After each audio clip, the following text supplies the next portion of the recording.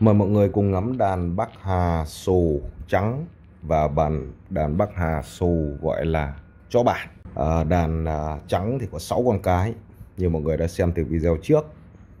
Và đàn gọi là chó bản thì có 4 con. Trong tổng 10 con thì chỉ có một con đực thôi là con màu đen trắng. Còn à, lại tất cả đều là cho cái. Thì à, với cái đàn Bắc Hà xù trắng này thì là cặp bố mẹ là mình ờ, có cho đi ờ, để chứng nhận giống cái đợt vừa rồi, nhưng mà không đạt vì ờ, giám khảo đánh giá là cái tai của nó không đủ độ cụp. Về cái tai con Bắc Hà thì mình có xem đây đây là hình ảnh con Bắc Hà ở Bắc Hà Xù ở trong một cái bộ phim cách đây 40 năm, bộ phim Lão Hạc làng Vũ Đại ngày ấy. Còn đây là cái hình minh họa con Bắc Hà Xù ở trên trang VK tiêu chuẩn cho giống đó. Còn đây là con à, Bắc Hà của mình. Đó. Thì à, nói về cái à, cặp à, chó trắng bố mẹ Bắc Hà Xù của cái đàn à, trắng này. Thì đi chứng nhận giống thì giám khảo đánh giá là tất cả mọi cái đặc điểm về cơ thể về cái đầu mặt rồi về cái lông về cái đuôi thì đều rất tốt. Duy ờ, là có cái đầu tai là không cụp. À, giám khảo nói là cái đầu tai là nó phải cụp hẳn. À, và cái hình vẽ minh họa ở trên uh, cái bảng tiêu chuẩn ở trên trang VK nó gây hiểu lầm.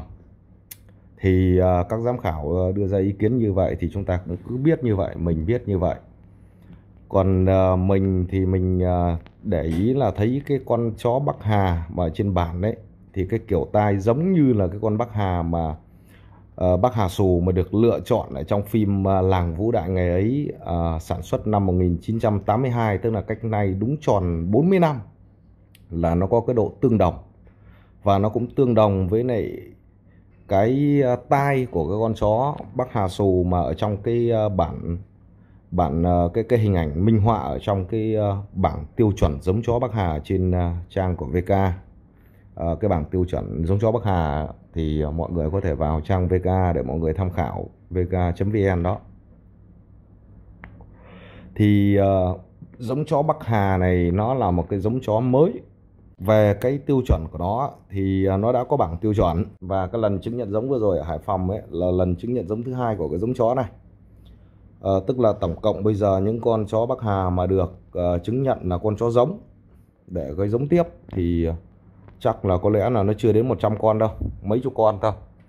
Bởi vì cái lần chứng nhận nhận giống đầu tiên là cái lần chứng nhận giống uh, cách đây khoảng 2 năm. Thì lần chứng nhận giống đó nó có khoảng uh, chắc có khoảng mười mấy hai chục con gì đó là nó đạt.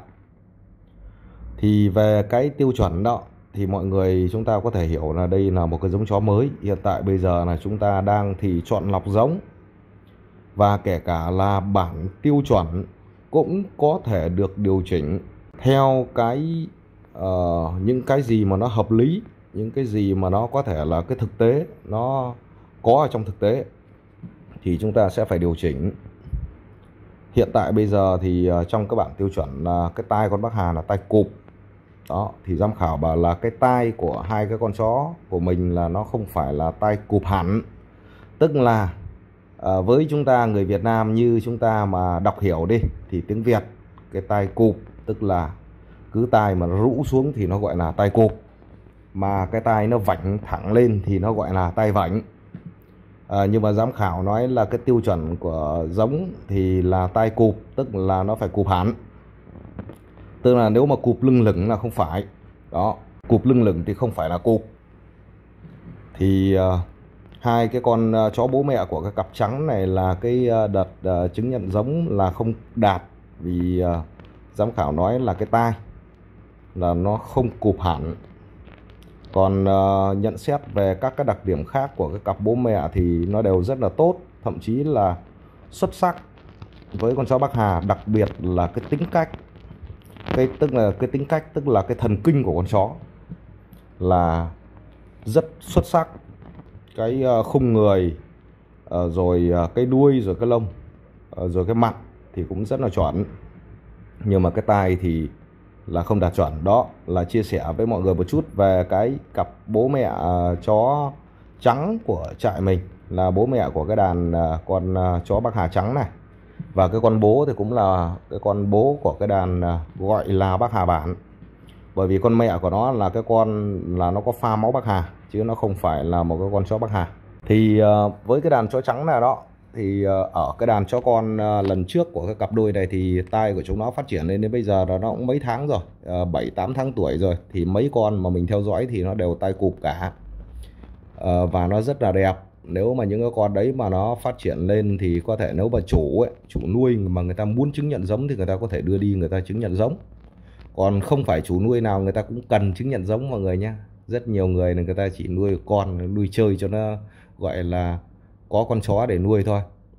Chứ người ta không có muốn liên quan gì đến cái việc là nhân giống hay là này kia thì người ta sẽ không tham gia các cái đợt chứng nhận giống. Thì đó là với cái đàn uh, chó trắng cặp bố mẹ này thì chia sẻ với mọi người một chút là như thế.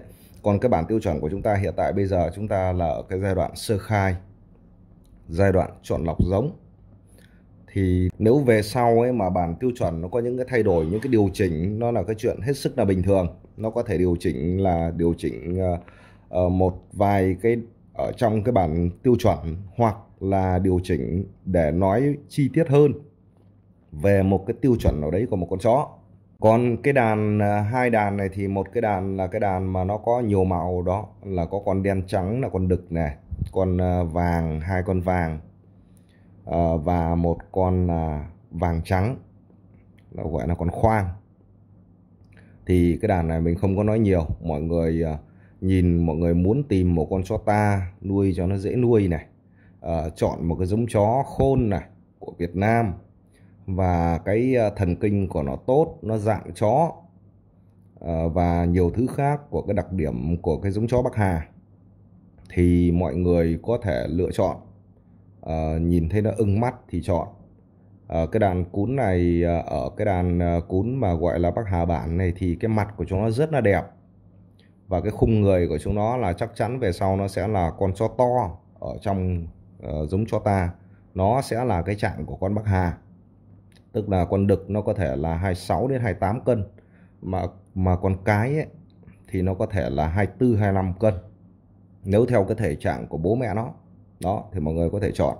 Cái đàn ờ, vàng ờ, và đen trắng đó thì có hai con sùa hơn là mình sẽ bán giá cao hơn một chút. Còn hai con khoang vàng trắng và một con vàng Ờ, với cái chất lông nó ngắn hơn một chút đó thì mình sẽ bán giá thấp hơn. Còn cái đàn trắng này thì cái giá của nó mình sẽ bán như lần trước như cái đàn trước ờ, của cái cặp đôi này là mình sẽ bán 7 triệu một con. Đó thì mình chia sẻ luôn ở trên video để mọi người có thể biết được cái giá. À, không phải mất công hỏi giá nữa nhưng à, vẫn có rất nhiều người hỏi giá đấy bởi vì mọi người xem nhưng mà mọi người à, không có thực sự thích con chó. Mọi người không có xem kỹ, mọi người xem lướt lướt lướt lướt rồi mọi người hỏi. Mà những người như thế thì ít khi mua được chó lắm. Thì đó, mọi người có thể xem thực tế cái đàn chó để cảm nhận cái tính cách của con chó, cũng như cái vận động của con chó, cũng như cái sự ham thích vận động, cũng như là cái độ nhanh nhẹn của con chó. Ở trong video thì mọi người có thể thấy được là cái tính cách, cái thần kinh của cái cái cái hai cái đàn này thì là tốt vận động của nó cũng cực kỳ tốt nó rất là ham vận động à, thích chơi và nó dạng chó. Ở trong đàn thì cũng có con hơi nháp một chút à, không phải là tất cả nó đều dạng cũng có con hơi nhát một chút. Nó nhát với những cái lạ còn có ờ, còn mấy con còn lại thì nó rất là dạng dạng chó. Cái tính cách của cái con chó Bắc Hà này mình nuôi mấy con rồi thì mình phát hiện ra một cái điều là cái con Bắc Hà này là nếu mà bình thường thì nó ờ, dễ thân thiện hơn là cái con mông cọp so hai cái giống chó ta. Nhưng cái con Bắc Hà ấy là cái tính cách của nó nó còn đầu gấu hơn là con mông cọp.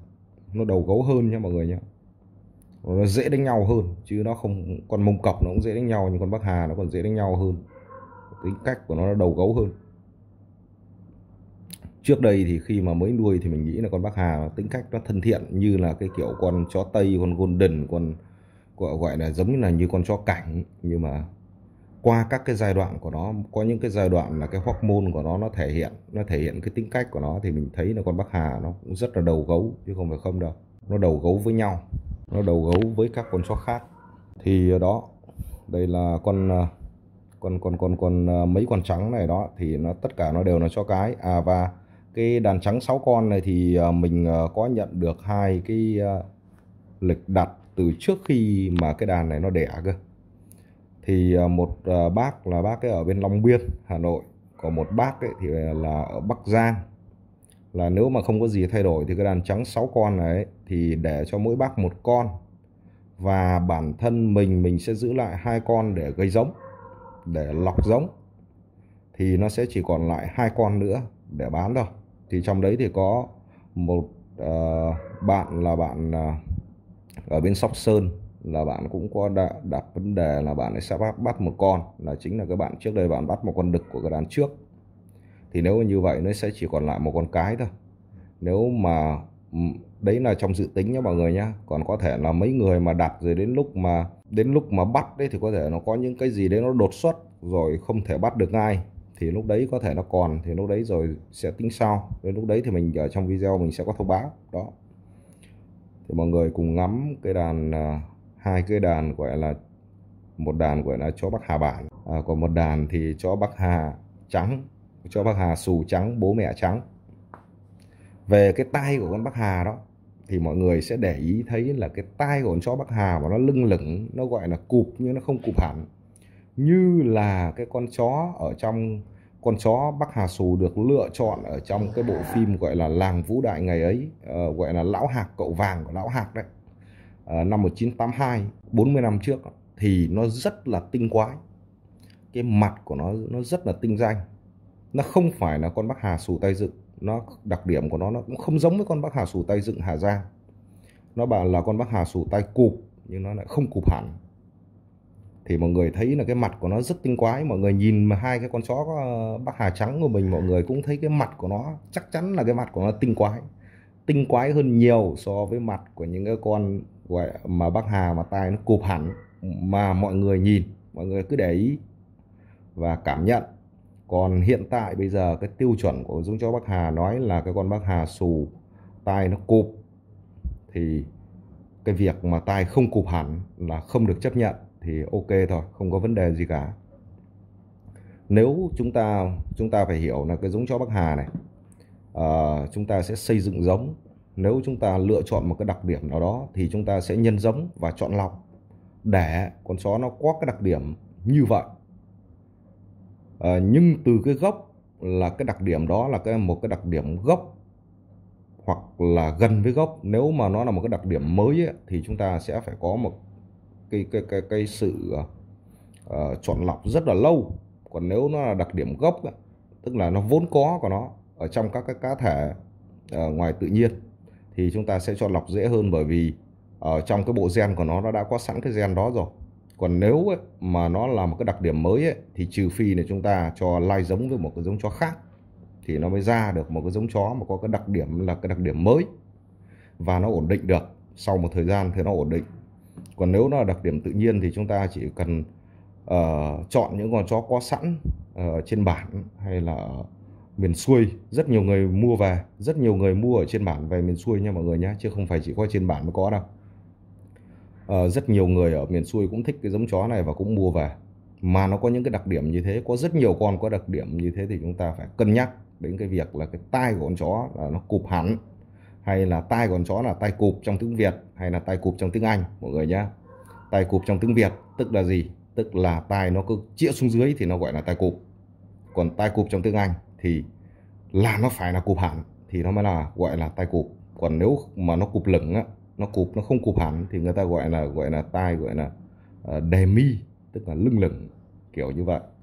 Thì uh, uh, chia sẻ tiện cái đàn cho con bác Hà xù này thì à, chia sẻ một chút à, liên quan đến cái tai của bác Hà.